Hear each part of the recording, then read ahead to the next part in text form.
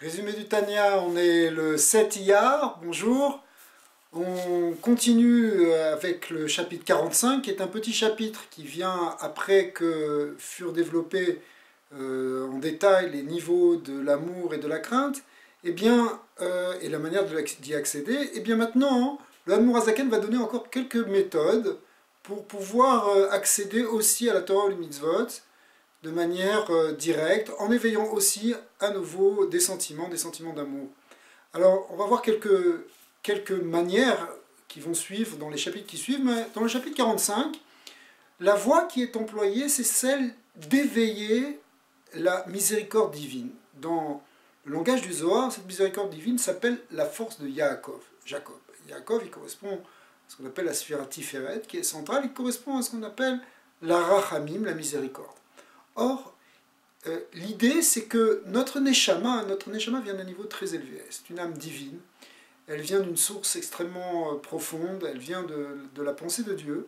Mais en descendant dans ce monde qui est un monde d'exil, un monde de clipote en hébreu, c'est-à-dire d'écorce, qui est appelé dans le Zohar la peau du serpent, eh bien, en descendant dans cette peau du serpent, elle se retrouve en quelque sorte prisonnière.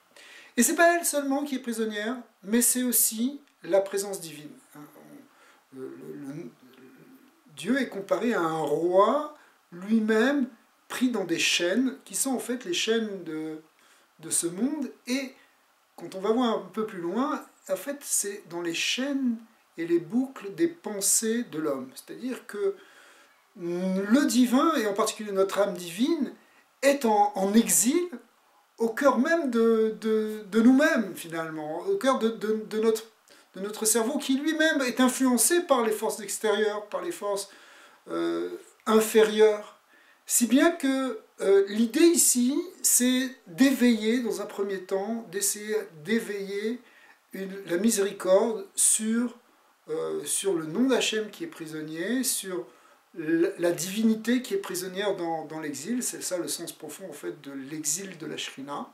Et l'idée c'est que euh, en éveillant cette, cette, miséricorde, alors après dans un second temps, on va voir que c'est ça qui va faire jaillir l'amour.